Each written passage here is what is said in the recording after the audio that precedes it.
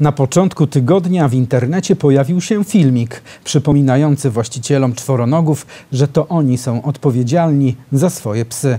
Materiał opublikował na swojej stronie Urząd Miejski. Po pogryzieniu przez psy dziewięcioletniej Marysi z Rokitek oraz na fali doniesień o agresywnych czworonogach, Urząd Miejski w Tczewie opublikował na swojej stronie krótki filmik. Z jednej strony ma on przypominać właścicielom psów o ich obowiązkach, z drugiej ma być przestrogą przed nadmiernym zaufaniem do czworonogów. Nagranie rozpoczyna się fragmentem regulaminu utrzymania czystości i porządku na terenie miasta. Później widać na nim nagrywanego z ukrycia psa na smyczy. Wszystkiemu towarzyszy dramatyczny podkład dźwiękowy, a wideo kończy się apelem, by myśleć za psa. Kto ma myśleć, za jakiego psa, tego do końca nie wiadomo. Nie dowiedzieliśmy się też, kto jest odpowiedzialny za całą akcję. Ten filmik wykonał jeden z pracowników Urzędu Miejskiego.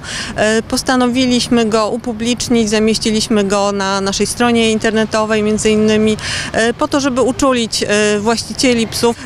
Jak widzimy na filmiku, takie psy powinny być e, wyprowadzane nie tylko na smyczy, ale również w kagańcu. Na filmiku jest taki groźny pies, e, tylko na smyczy wyprowadzany, także tutaj no, chcieliśmy przypomnieć o tych obowiązkach. Działaniami prewencyjnymi w zakresie obrony przed agresywnymi psami zajmuje się w Tczewie Straż Miejska. Jeżeli chodzi o działania prewencyjne, to prowadzimy je cały rok. Nie ma jakoś konkretnych miesięcy wskazanych, po prostu prowadzimy je przez cały rok na okrągło. Czy także są zajęcia w szkołach prowadzone z dziećmi? Tak, oczywiście. Zajęcia w szkołach prowadzone są również przez cały rok, no oprócz okresu wakacyjnego. Po, od początku września do końca miesiąca czerwca są takie działania prowadzone. A dlaczego? Uważam, że profilaktyka jest tutaj w tej kwestii najważniejsza i trzeba uczyć przede wszystkim małe dzieci.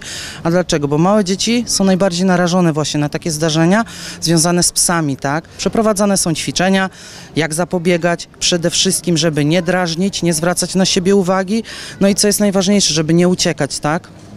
Dlatego stosowane są te postawy typu drzewo czy typu żółwik. Wszystkie dzieci zawsze czynnie uczestniczą w tych ćwiczeniach. Znajomość tych technik nie przyda nam się, gdy pies, zgodnie z przepisami, idzie na smyczy i w kagańcu. Ale czy każdy pies musi mieć kaganiec? Pies powinien być i w kagańcu, i na smyczy. Jednak nie zawsze tak jest, ponieważ budowa anatomiczna psa nie pozwala na to, żeby mu ten kaganiec założyć.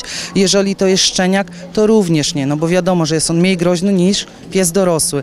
Ale tak, strażnicy reagują na takie zdarzenia, jeżeli widzą, że pies jest duży, czy tym bardziej znajduje się na liście psów agresywnych, tak jak najbardziej reagują wtedy, jeżeli pies nie ma kagańca, bo tym bardziej na właścicielu spoczywa taki obowiązek, że jeżeli jest to rasa agresywna, tak, to powinien mieć ten kaganiec. Żeby nie podejrzewać o łamanie prawa sąsiada, który wyprowadza swojego przerośniętego labradora bez kagańca, każdy z nas może sprawdzić w internecie wykaz psów agresywnych. Na liście znajduje się 11 ras.